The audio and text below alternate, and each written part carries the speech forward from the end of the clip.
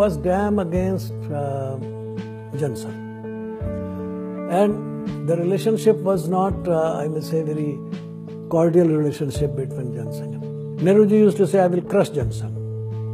The, uh, Dr. Mukherjee then gave him a reply that I, I will crush this crushing mentality. I will not crush the Congress, but I will crush this crushing mentality.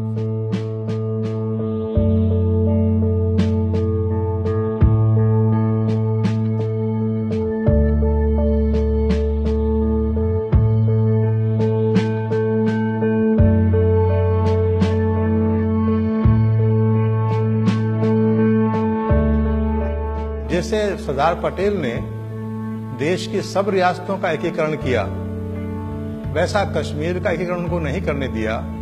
Doctor Shyama Mukherjee ने उस व्यवस्था को तोड़ा और एक नारा दिया। एक देश में दो विधान, एक देश में दो प्रधान, एक देश में दो निशान नहीं चलेंगे।